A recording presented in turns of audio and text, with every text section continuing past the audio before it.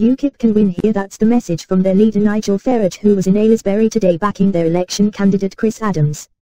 Mr Farage officially opened UKIP's shop in Weston Turville before heading to Wendover.